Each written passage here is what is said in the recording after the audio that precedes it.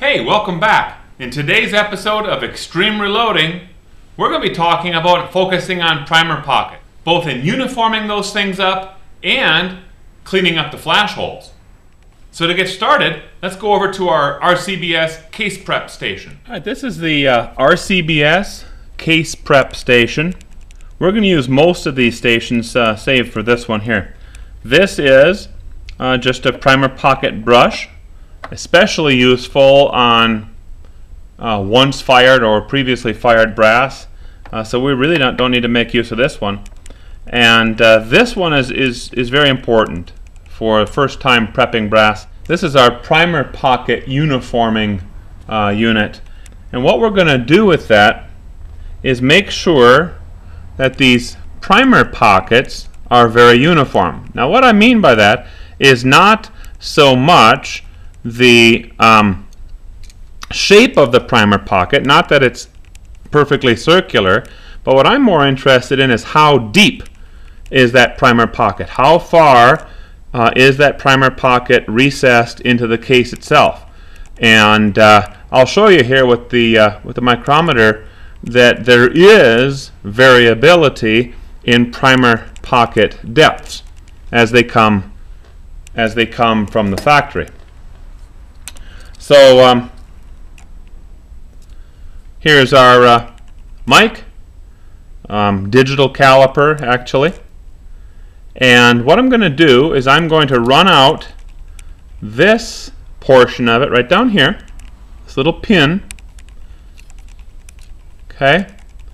And I'm going to insert this case so it, the uh, primer, the base of the primer pocket makes contact with this here, and then I'm going to force it forward until it seats against the uh, caliper itself. Now notice that this is 0.1285. We're going to run it out a little bit more again. Grab a second one.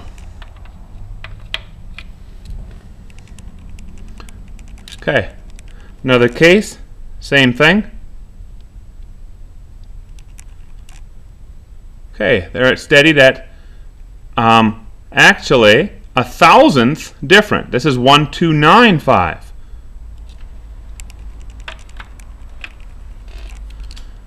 And once again, run it out, make seating against it here. See that? Right there, seat this against it, then push.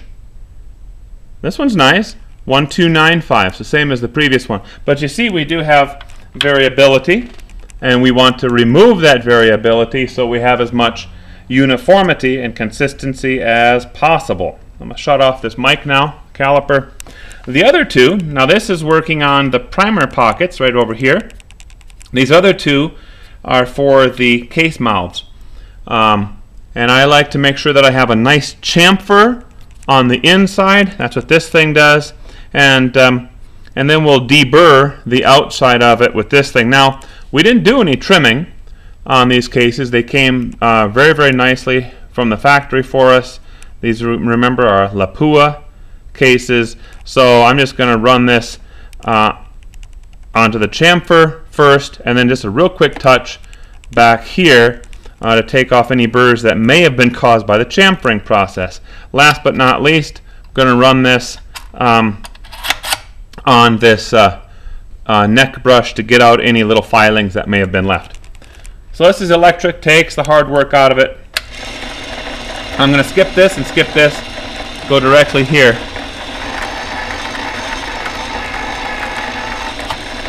Now one thing that I notice is that when you're um, trying to clean up and uniform up these primer pockets, uh, that's the very first time you do this, or the, when you're doing this on brand new brass, it can be um, kind of start torquing your hands out, or there's a lot of twist on it, uh, and the, the whole case wants to slip a little bit. Real quick fix is right there.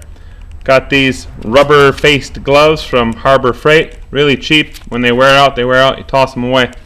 But these give me a nice grip, and I can do this much easier.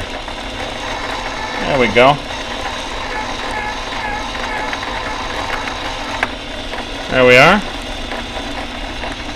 Nice looking primer pocket. We're going to hit it here. A little bit of a chamfer. Take off any uh, burring that is necessary. You might be able to see that chamfer. That one's done.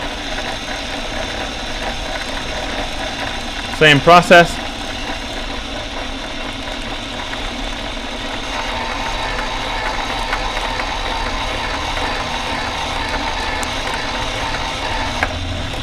When do you know you got enough done? Well, you'll feel it.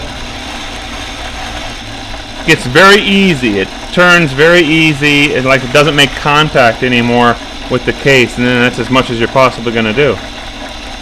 So that's done. Well, I've got 98 more to do. That's the process. I'm going to uh, get working on these.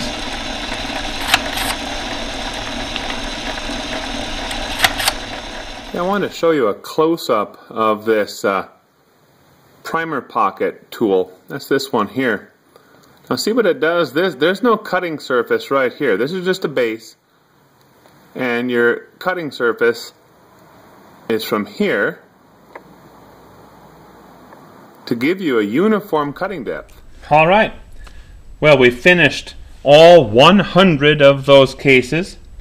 And, uh, you know, the proof is in the pudding, of course. So let's get our uh, digital caliper back out. I'm going to zero it here.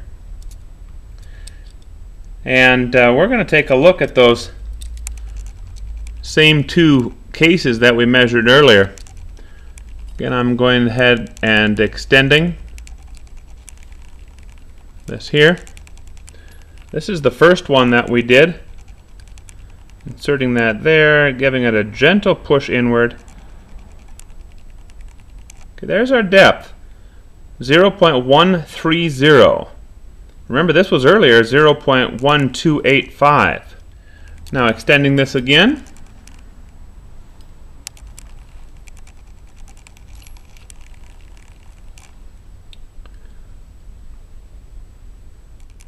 Zero point one three zero again. And that's exactly what we're going to get by using this primer pocket tool here. Now let's think this through. What in the world does it do for us? Well, if the depth of these primer pockets is exactly the same, and it's very, very close to that now for all 100 cases, then the primer, when it's set in here, will sit and allow a certain amount, the same amount, of space between the primer itself and the top or the ceiling of that primer pocket, thereby helping to ensure a more uniform ignition. This is the Lyman flash hole uniformer. Right now I have it set up for the 220 Swift. The only setting is on uh, exactly where this where this uh, stop sits uh, on the shaft.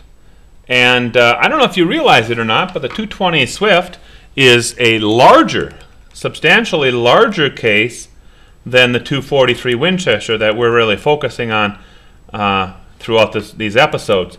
This is the 243 Winchester, which, as you know, is is built on the 308 Winchester, 7.62 by uh, by 51 case, and uh, this is the 220 Swift. Yes, it's just a 5.56 caliber compared to a, a 6 millimeter um, uh, case, 243 over here. But it's, it's actually quite a bit larger case. And I really like the 220 Swift. It is fantastically fast, very accurate, uh, and really one of my uh, favorite cartridges, favorite rifles uh, for varmint hunting. So we need to have this cutter, it looks like a drill bit, uh, extending just through the, uh, the flash hole. So to do that, it's really simple. These are a one size fits all type of thing. We'll need a hex key. Okay, hex key set. We're going to back out or loosen this hex key right over here loosen it up just enough. All right, this is now loose and it moves freely. So what we're going to do is we're going to insert from the mouth of the case. Now I can see uh, already that the flash hole on this one is a little bit small. So I'm going to run that flash hole open. Okay, there we go. The uh, cutter, drill tip if you want to call it that, is now um, extended beyond the flash hole itself. And uh, what's happening is we're starting to cut a little bit of a bevel on the inside of that flash hole to help uniform it up and uh, make for a more consistent ignition of the, uh, of the powder. So this is good. Set this again. Now we're going to run this to here.